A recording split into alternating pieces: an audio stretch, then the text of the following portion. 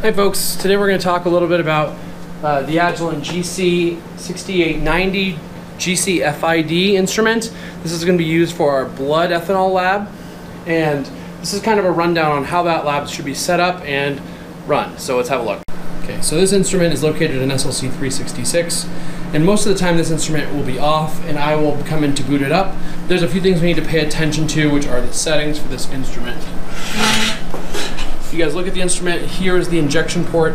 This is currently heated to a temperature of 250 degrees on a split ratio of two and a half. So it means that we're getting a good portion of our sample onto the column every single time we run this. Uh, right under here is our chimney and our detector for the FID, this little brass dealy bob. Um, that is our back detector, and that's heated to 280, and that needs to be lit. So if you mouse down here, you should make sure that the flame is on.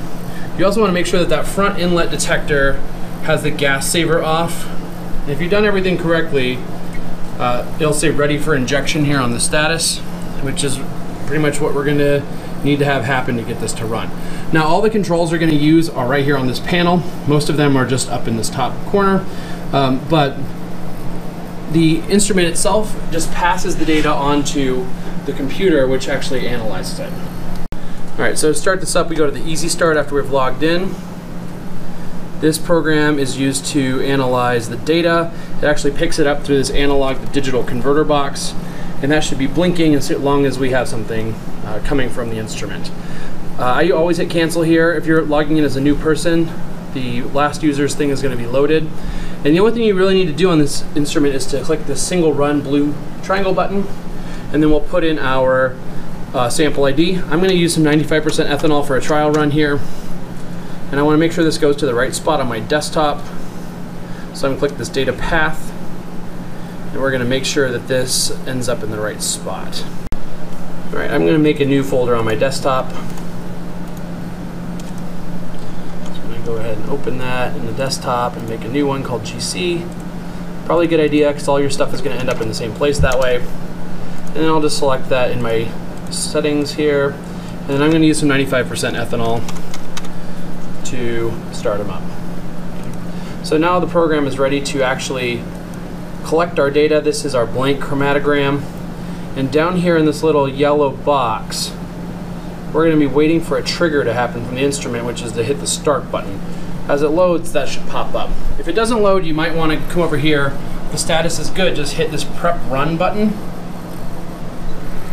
and now you can see after I've prepped the run, it says waiting for trigger. And it's just gonna blink until I'm ready to go. Okay. So the next thing I'm gonna do is show you how to, uh, how to actually inject a sample onto the instrument. All right, folks, so what we're gonna do here is we're gonna take this 500 microliter gas tight syringe and we're gonna sample the headspace of one of our samples. Now you'll have a bunch of standards and some blood samples that you'll want a headspace sample, but that just means pull the gas off the top of the solution, okay? I'm just gonna sticking it in the bottle, not touching any liquid, and just drawing the gas off of this 95% ethanol. And then I'm just gonna push it back down to the half mil mark. And this is ready to go. It's gas tight, so we don't have to worry about leakage. But essentially what I'm gonna be doing is sticking this syringe right here into this port.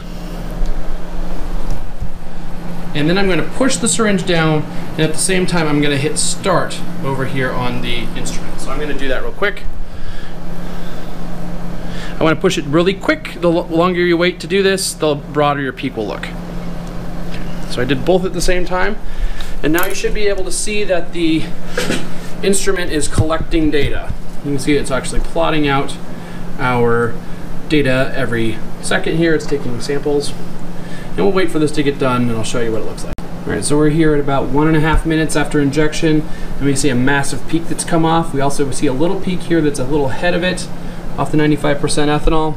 Um, this one is actually so large that it's pegged the meter, and so the meter only goes up to about negative 0.2 millivolts, and so we can see that its flat top is um, is resultant from having a lot of sample on that column, but it's all come off.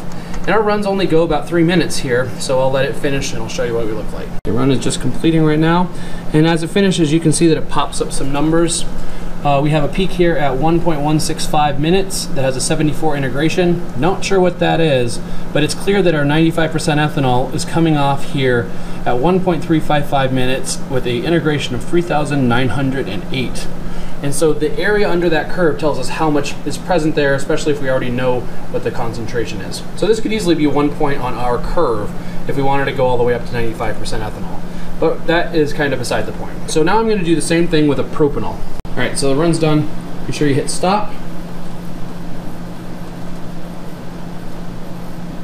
You want this to say ready. Again, it's gonna take a little bit for that to get back. Ready for injection. So I'm gonna come back over here. I'm gonna close out my ethanol, start up a new one by hitting the little blue triangle. I'm gonna call that propanol. Make sure that I'm still using my FID method.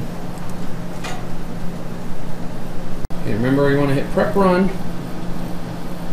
Pre-run should come on here. We're going to wait for it to say waiting for trigger, and then we're ready to inject.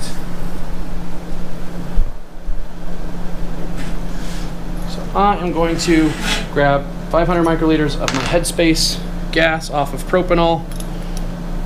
I usually go as far as it'll go and inject it back. And again, I'm going to put it right into the injector port and hit start as soon as I am ready to go. Done.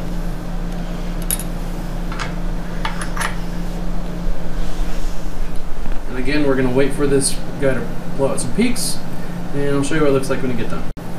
All right, so here's our N propanol chromatogram. We have a peak at 2.192 minutes with an integration of 3,898.